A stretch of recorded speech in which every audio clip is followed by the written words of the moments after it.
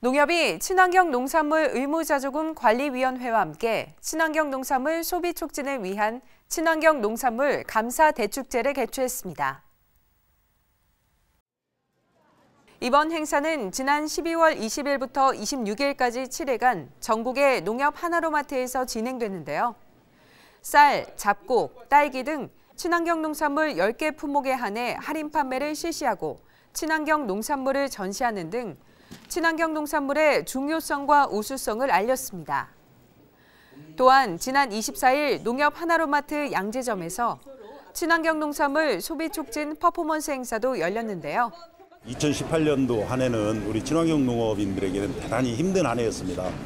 어, 봄철에 냉해 피해, 그 다음에 여름에는 그 살인적 폭염에 위해서 엄청나게 힘들게 생산을 했는데 소비자분들께서 어, 친환경 농산물을 애용해 주시기 위해서 감사하는 의미로 오늘 행사를 만들었고요. 그리고 또 2019년도에는 더욱더 많은 관심과 애정을 가져달라는 말씀 부탁을 드리겠습니다. 이날 참석자들은 건강한 먹거리인 친환경 농산물을 널리 알리고 생산자와 소비자가 상생하는 친환경 농업 육성에 앞장설 것을 다짐했습니다.